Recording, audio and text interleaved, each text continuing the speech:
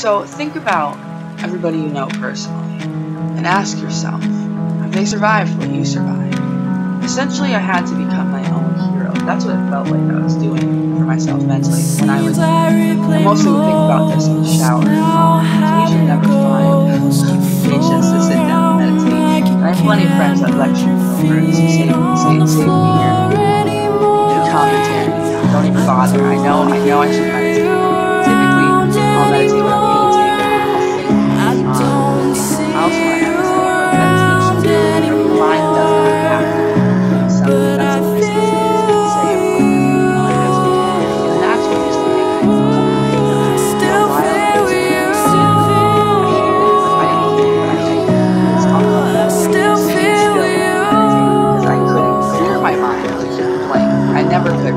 always on. Like once in a while. Like when it needs to go blank, it will go blank.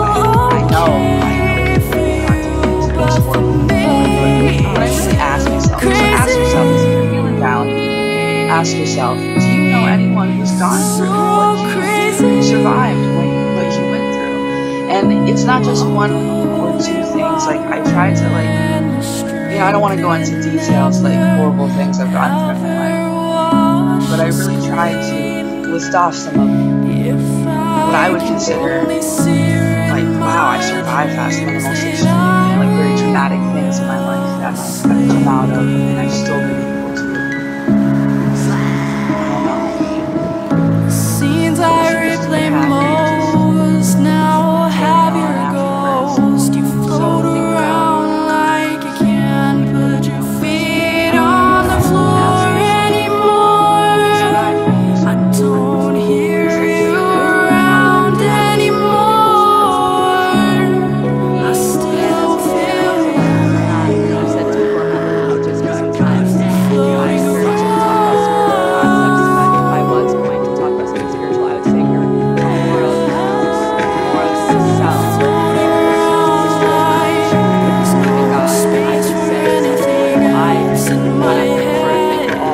all one self, that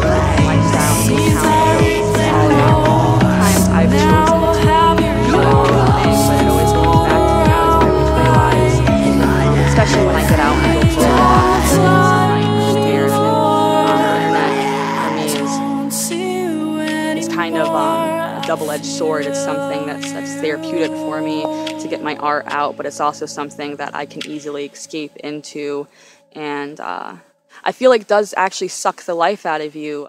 Okay. You can do this.